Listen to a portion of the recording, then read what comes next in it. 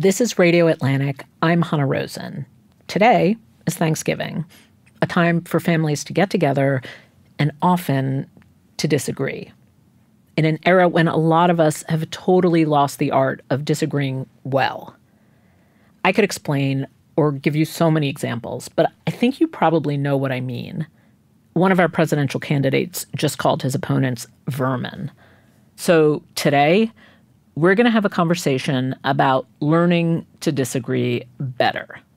And I know that there are some people out there who hear that and think I mean we need to be quiet or just stop protesting or be more polite. But it's not that. It's about how to talk to people you disagree with, not in a polite, avoidant way, but in a way that's more effective, that lets everyone get something done. Now, we're going to hear from two people.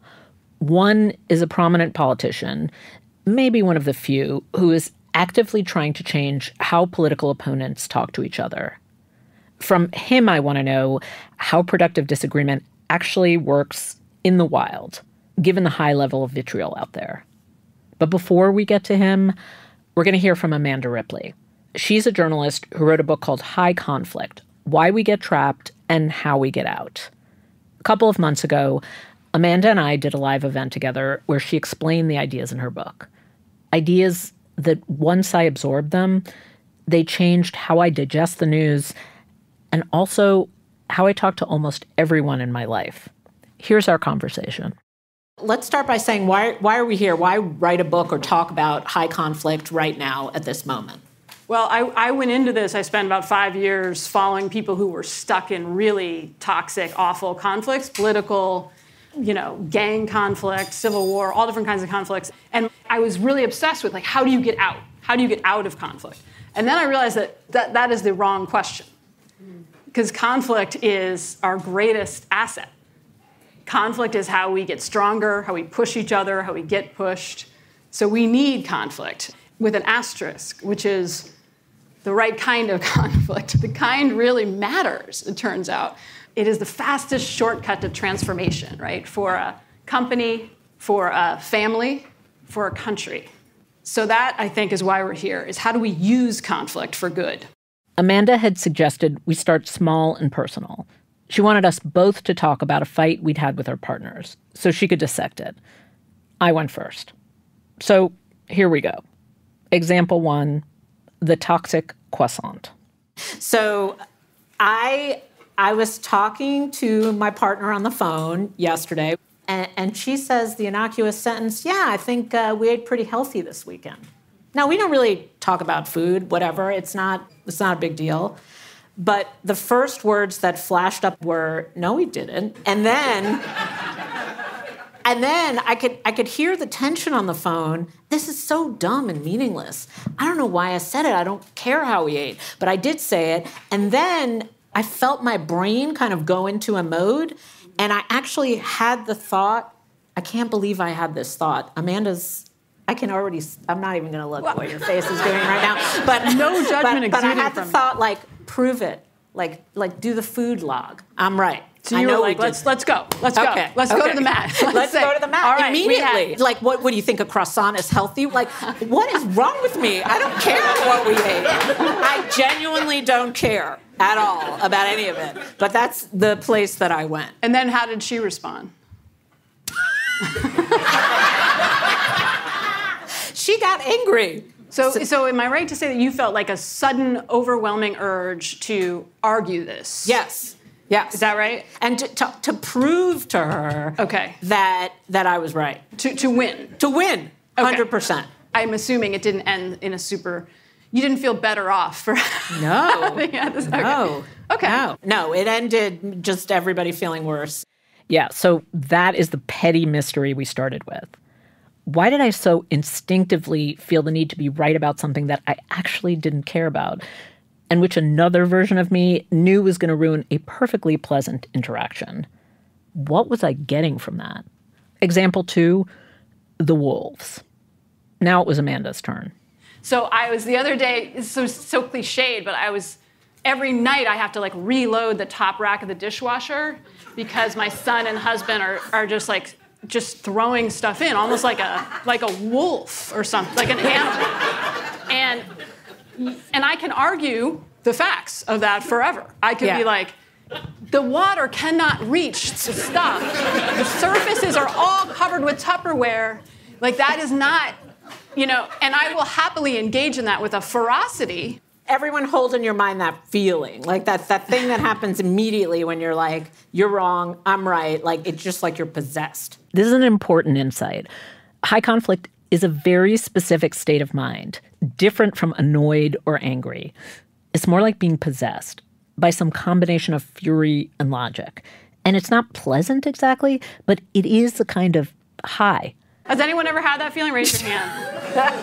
okay, see, we're Yes. not alone. Yes. Anyone here have no idea what we're talking about? Uh, okay, all right, so we're not alone. Conflict is not just croissants and dishwashers, though. Often the stakes are way higher, like in politics, which is built on disagreement. How do you know when conflict is productive? when I said the kind of conflict you're in really matters. There is a kind of conflict that I like to call good conflict, like good trouble, like John Lewis called good.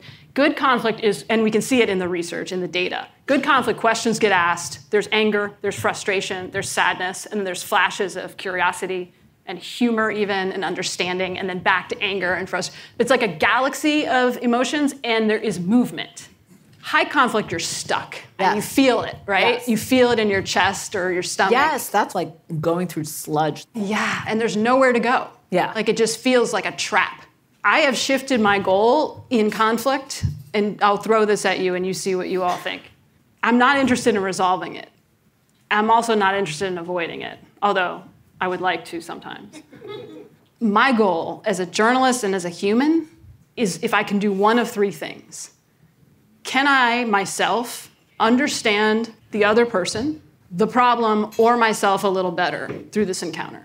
Understand, even if you disagree. Totally. Continue to disagree. That's great. Okay, let's pause. What Amanda is suggesting is that you should engage in a conflict with no intention of resolving it. In fact, if you have that intention, you'll probably make the conflict worse. That's hard. And what she's proposing seems straightforward, except it's tricky because understanding might mean in some cases giving a lot of airtime to a person who quotes false statistics or spreads conspiracy theories. And that's especially tricky if this person has power.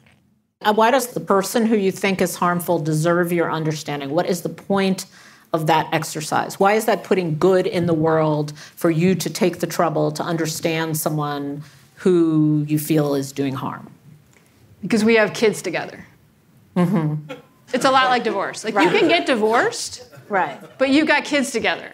You Right. still have to work together, as we keep seeing. You cannot get jack done in this country. The kids being genuinely a next generation of America. It's always the, the people who suffer the most in high conflict, whether it's in Colombia or Northern Ireland or South Africa or Chicago, it's always kids. Mm-hmm.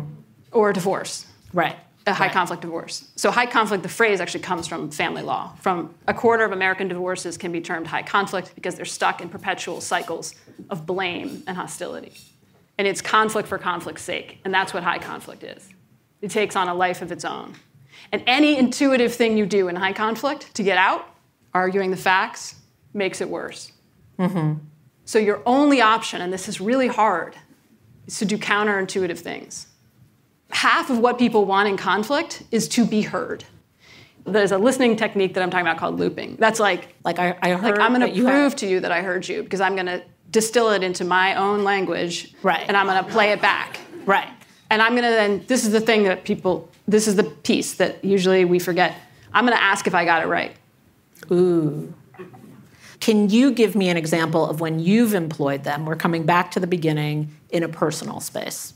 You want to try the dishwasher one? Sure, sure, let's do that. Okay, Okay. great. So every conflict has the thing it seems to be about that we argue about endlessly, and then what it's really about. That's the most interesting part. That's where I think journalists can do their best work, if we can get to that, which is like the understory of the conflict. What the is understory. understory? Like, what Okay. is it really about? Uh-huh. And do you know ever listen to Esther Perel? Does anyone Yes. know Esther Perel's Yeah, yeah. podcast? Okay. So she's basically reduced the understory to six possible. There's just there's just a handful of them in every conflict she's seen. Care and concern, Mm-hmm. respect and recognition, mm-hmm. power and control. Care and concern, Care and concern, respect and recognition, power and control. Yeah. So if you think back, let's use the dishwasher example. For me, it is clearly about respect and recognition, obviously. You mean because you've told those wolves Yeah. a thousand Yeah, times? Yeah, it's like, and it feels like it's not important because it's somehow women's work. I see.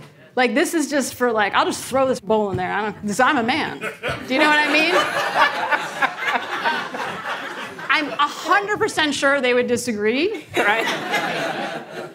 right? Like Yeah. they're just not putting that much thought into it. But for me, it feels like, and now I'm spending my time right. correcting all of your mistakes, Right. Because my time is worth half of your time, apparently, right? Wow. That's the understory. Okay. So now, wouldn't it be better if I could say to them, look, this may sound irrational to you, and maybe it is irrational. But when I see like 400 dishes piled up in the top rack of the dishwasher, it feels like you don't actually respect the need to take care of our stuff and that it's somehow on me to do that. Is that Mm-hmm. the story? That's the story I'm telling myself. Is that the story? Is that right? For sure, they're going to be like, what? right? But if they could then show me they hurt me, they're like, wow. So when you see this dishwasher we're looking at, you see like disrespect. Is that right? If they could loop me, and they don't have to agree that it's No! disrespectful or that they're the patriarchy or anything like that. or that they're dirty animal wolves destroying things in there. They just have to hear you and do and it. prove it though. Prove you heard me by distilling it into your own language and playing it back to me and checking if you got it right. Which my husband now does better than I do, by the way, because he's heard enough of this. and But- it really doesn't matter that, that they don't have to adopt your view of the thing. That's actually like a small and radical idea. radical. They don't have to see it the way you see it or adopt that same prism. They just have to know that you have that prism and respect that prism, and everything quiets down. Right. Like literally saying that takes all of the energy out of my body. It's Yeah. like, yes, exactly. Right. Right? So if you loop someone and they say exactly, then you know you got it. What percentage of the time do you think people feel heard in their day to day lives? On average? 5%. yeah, that's great. Yeah, 5%. Okay, so a lot of the conflict that we're seeing right now that is unhelpful comes from that. The people just don't feel heard. And the research on listening shows that when people don't feel heard, what does it lead you to do? Shut down or or talk louder. Yes. Yes. And so and we see in the research that when people don't feel heard, they tend to say more and more extreme things. They wash away all the complexity and internal doubt. And they say more and more violent, extreme things. So think about what that Welcome means for journalism, Welcome right? To yeah. America, exactly. Yeah. So, It- but so- if they do feel heard, they admit to more internal uncertainty. They admit to being torn about certain things. They reveal vulnerability, and they will listen to you. let's show people examples of good conflict because Amanda has seen a lot of it, and uh, I want to leave you all with you know positive vibes. Yeah. So this is just a small example of trying to step out of the dance. Remember, I was saying you got to do something counterintuitive. So this is a little ad in the governor's race in Utah. Spencer Cox, a Republican, and his Democratic opponent, and this ad went viral to much of their surprise. So let's watch. Let's watch this.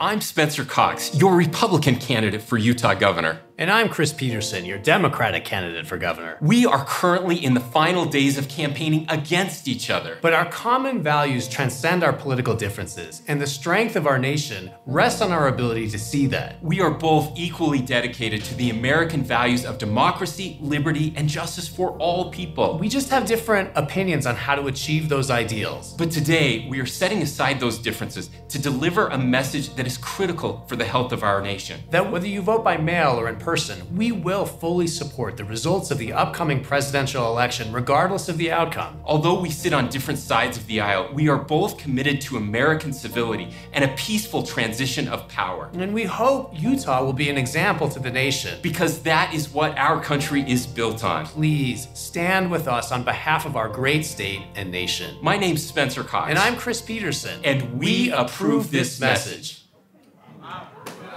So, yeah, I mean, you know. What does it say about either me or America that I'm like, where's this SNL skit going? After the break, we'll hear from Spencer Cox himself. The now governor of Utah heads something called the Disagree Better Initiative. And to him, this is nothing to laugh at.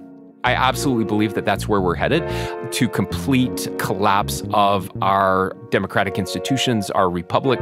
And if we can't have productive conversations, we won't be able to save this in, in incredible gift that we've been given over 240 years ago.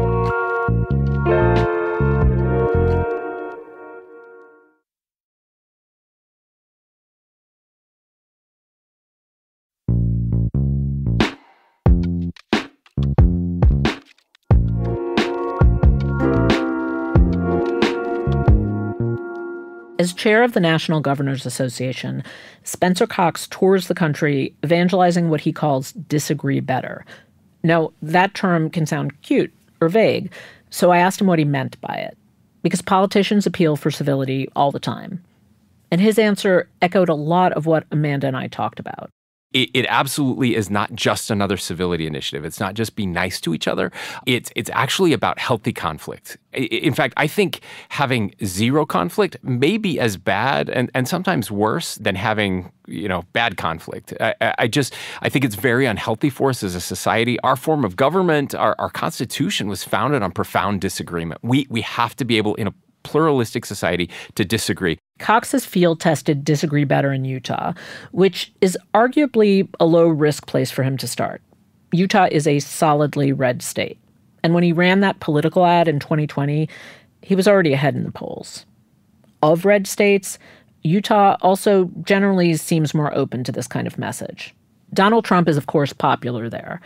But Utah is also the place that sent Trump critic Mitt Romney to the Senate are you trying to change people's minds? Like, is that part of it, or not really? It's just sort of defending your own position. Because I, I feel like people, you know, debate about that. If you go into a conversation thinking you're going to change someone's mind, that's already a bad start. It, it is a bad start, but here's the key: it's a bad start because if you go into a conversation trying to change someone's mind, you'll never change their mind.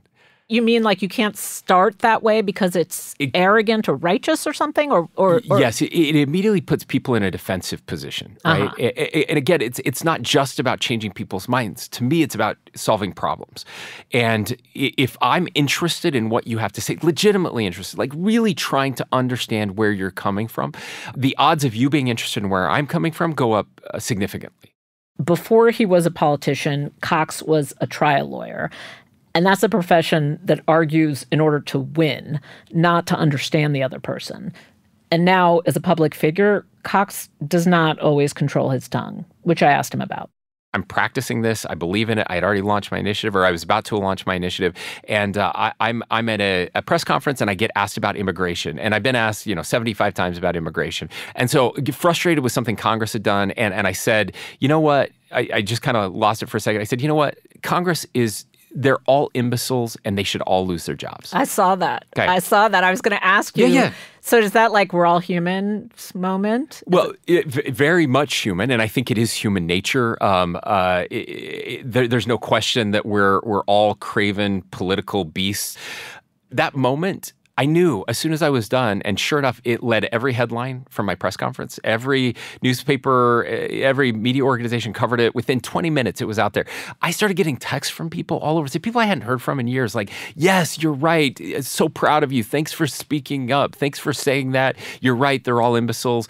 And uh, and I apologized an hour later uh, because uh, it, it was against everything I believe in. But that's that's the incentive structure. The one thing I got the most credit for was the thing I should shouldn't have been doing. Is the problem your language? Is it because you call them imbeciles, Yes. you essentially make them defensive, Yes. and then the conversation So, so this down? is my Okay. point. Did any member of Congress read that and think, you know what, he's right. I'm an imbecile. I should resign. and and you know, or did any of them think, oh, you know, let's go solve immigration because that governor thinks we're imbeciles? Like, like no, it doesn't. It didn't help anything. It didn't. It didn't work. And and again, not only that, but I'm, I'm dehumanizing people. I'm othering them, right? I, I I'm very frustrated. Um, I, I I could have said that, right? I, I think this is a mistake. I think I think what they're doing is is wrong, and here's why. It yes, we should point out the things we disagree with, the things that are wrong, the things they're doing wrong. But I don't need to call them imbeciles to do it. My nature. Uh, and I think the natural human being in most of us is towards conflict when presented with opposing views. That Totally. we, we fight back. That's what we do. We're Right. fighters. So that's that's been my journey. It's something I still have to work on every day. My staff reminds me when I head into uh what's going to be a tense situation to go 65 miles an hour because I can go from zero to 100 very quickly. Me so too. so I have to constantly keep Yeah. it at 60, keep it at 65. You know, keep it keep it toned down. Do you think that Donald Trump embodies the principles of disagree better? Uh, Of course not. And I think Donald Trump would be the first to tell you that he doesn't embody the principles of disagree better. You're a Republican governor, Donald Trump is the nominee. How do you handle that scenario? It's Sure. a genuinely difficult scenario. It's it's impossible. It's an impossible scenario. And and every governor, every Republican governor, every Republican member of Congress, uh, we're all trying to navigate this, and people are choosing different ways to do that. Some just pretend it doesn't exist. Some people try to nuance it. Some people, you know, push against it. Uh, has it gone great for most of those people? Um, and, and so I No. So what's your choice? Like what do you, you're the face of disagree better and this is your nominee. So what do you personally do? Like somebody's going to ask you the question, are you endorsing, you know, are Yeah, you endorsing asked it- Donald sure, Sure, You get I asked it all the time. Yeah, So and- what's and, right the now? I'm, I'm focused on hoping someone else gets out there. It's this crazy time where so you don't say yes, you just say like maybe the wishful think like magical yeah. thinking. We're, we're all doing the magical thinking thing right now, and I'm I'm, I'm admitting that. Uh, what I can do is try to offer a different approach, a different vision, and hope. I'm not just trying to convince other governors and, and other candidates that this is the right thing to do for our country, although it is the right thing to do for our country. And I think we are further down that road of complete failure than most people understand. I- I- Complete failure of what? Of our democratic republic. Uh, if you look at other failed democracies, other failed states, we're checking all of the boxes. I, I mean, we really are in, in a very, very dark place. And our tolerance for that type of rhetoric and for actual political violence has gone up significantly, which is scary. We can't keep doing what we're doing. I just had one last question for Cox. It's a question Amanda always advises to ask, which is Does the person you're talking to have any regrets or doubts about their position or about something that they've done? Because doubts are a place where opponents can find common ground. And Cox did share one big doubt. It was about when he signed a controversial congressional map back in 2021. This new map split the biggest Democratic leaning county in the state and divided it among the state's four districts, which faced immediate accusations of gerrymandering. If you look back on your last few months, all these divisive issues, is there one that you wish you'd handled differently or that you are like, did I do the did I do the right thing on that one? Yeah, I, th- I think if I look back, the one that I worry about is the gerrymandering piece for sure. As I look back, because I think that's one issue that probably did drain some trust out of the system because that's changing boundaries, right, in a way that um, that feels like now your voice is is being neutered even more. And, and I also push back and say to, to most of my Democrat friends, what you really want us is to gerrymander for you. You you want a Democratic district in a state that is overwhelmingly Republican. It's just not going to happen. The numbers are just not in your favor. So go out and change the numbers, and then you have something to argue about. But I want to give them credit in saying like I understand that to me is a valid argument that uh, gerrymandering does impact trust in the system. That it does make it harder for someone's voice to be heard, for someone to get someone that they believe in elected.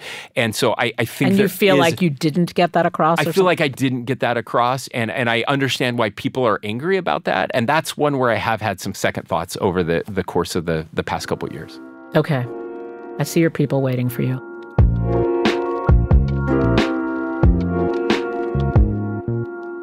The governor's people were waiting outside the studio to take him to his next thing. And before I say my goodbye to you and happy Thanksgiving while I'm at it, I wanted to return for a moment to my conversation with Amanda Ripley. Amanda and I wrapped up by circling back to my argument about the croissant and figuring out the real reason why I reacted the way that I did. Now, going back with this food argument about whether you ate healthy, which of the understories care and concern, power and control, respect and recognition? I think it's respect and recognition. Oh, okay, same one. Because actually, I think it's just my mother. We're not going to go there. I think it's a sense like I get really freaked out when people, uh, like in truthiness, like when people mm-hmm. just adopt strong stories that I feel are not related to what happened on this earth, I get real panicky. So there's something dangerous. there's something that. dangerous about people. Like it doesn't matter what the subject. If, if if if somebody had said we watched this thing on TV and we didn't, I couldn't get through to them. I would get really panicky and angry. It's uh, not about the food. So it's maybe control as well. Like if you could, yeah, if you can kind of keep tabs on what actually happened, mm-hmm. then things are less chaotic. Is that right? Yes. Like, and I'm not I'm not forever trapped under this like, false this false idea and I have to agree with it when I know it's not true. That makes me feel crazy. You know? Yeah, okay. Yeah. So do you think you could tell your partner that tonight on the phone? Just that? Yeah. yes, I can. Yeah, yeah, I will. I will. Uh, I mean, yes, yes, absolutely. This episode was produced by Kevin Townsend with editing from Claudine Ebeid. It was fact checked by Isabel Cristo and engineered by Rob Smierciak. Claudina Ebeid is our executive producer, and Andrea Valdez is our managing editor. Thank you to Sea Change Sessions for giving us the audio of my talk with Amanda. Thank you all for listening, and happy Thanksgiving. If you're at the table and you're overcome with that feeling that you're about to fight, do it right. Good luck to you, and see you next Thursday.